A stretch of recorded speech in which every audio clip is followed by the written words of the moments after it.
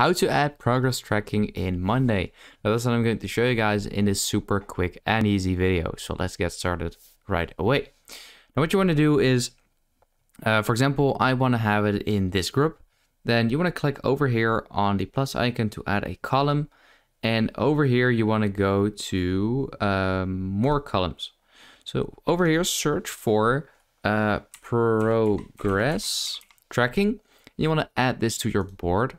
So now we've added that. And as you can see, um, this one is done. So it's on 100%. If I add this one, it's also going to 100%. And you can over here see that the total progress of this group is on 67%. And if I would change this to done, it's 100%. So that's actually pretty nice um, that it works like that. But um, if you have, for example, uh, multiple, um,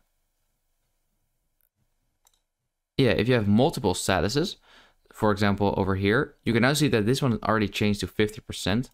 And yeah, so it's 50%. And this one is now 100%.